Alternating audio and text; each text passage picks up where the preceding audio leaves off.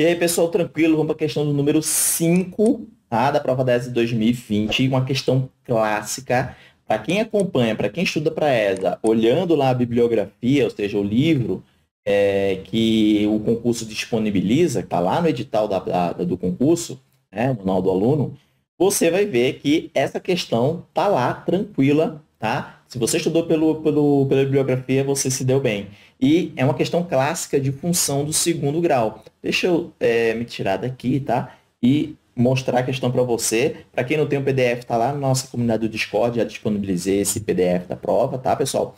E a questão diz o seguinte, ó, o lucro de uma empresa é dado por uma lei, então vou escrever essa lei aqui, ó, L de x, é igual a menos x ao quadrado, mais 8x menos 7, em que x é a quantidade vendida em milhares de unidades.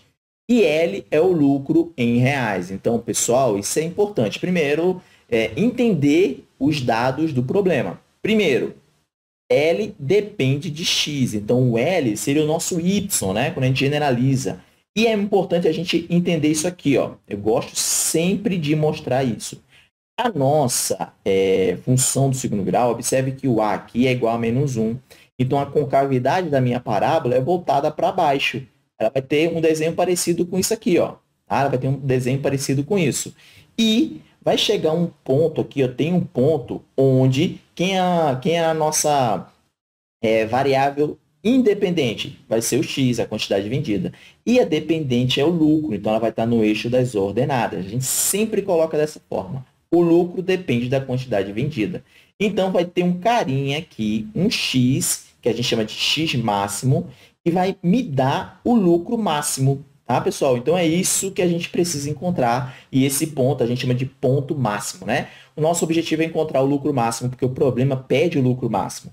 E para quem estudou isso aí com cuidado, com cautela, e sabe que isso aqui é uma questão clássica de função de segundo grau, é, sabe também que o lucro máximo, ó, vou escrever aqui, é dado por quem? Menos delta sobre 4A. Beleza, pessoal? Quem é delta? É só a gente resolver o delta pela nossa função aqui. Ó. A gente sabe que B aqui é igual a 8 e a gente sabe que C aqui é igual a menos 7. Então, calculando o delta aqui, ó, pessoal, delta vai ser B ao quadrado, 64, né? menos 4 vezes A que é menos 1, vezes C, que é menos 7. Ou seja, o delta aqui vai ser quem? 64. Menos com menos é mais, mais com menos é menos. Menos 28. Se você pegar 64 e subtrair de 28, vai dar, você vai ver que vai dar 36. Não é isso? Então, eu tenho aqui, ó, menos delta, que é 36, sobre 4 vezes A, que é menos 1. Ou seja, eu tenho menos 36 dividido por menos 4, que é igual a 9. Tá? Então, eu já parti direto para o lucro, lucro máximo. Tem gente que ia perder tempo aqui é, encontrando né, o x máximo. Então, x máximo vai ser quem? Menos b sobre 2 vezes a. É isso? Ou poder encontrar as raízes, dividir por 2, né? Encontrar o, o, ponto médio entre as duas raízes. Poderia fazer isso aí também. E depois, claro, ia ter que jogar na função para encontrar o lucro máximo.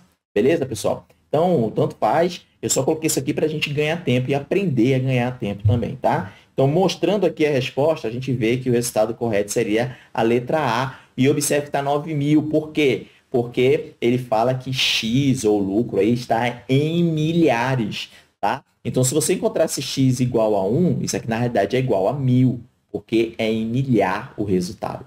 Tranquilo, pessoal? Então, foi uma questão que eu achei muito bacana, né? E que é uma questão até clássica de função do segundo grau, que você precisa ter na sua cabeça quando vai fazer a prova na ESA, da SpaceX, qualquer concurso militar. Tranquilo? Então é isso, a gente parte aí para a questão de número 6. Valeu!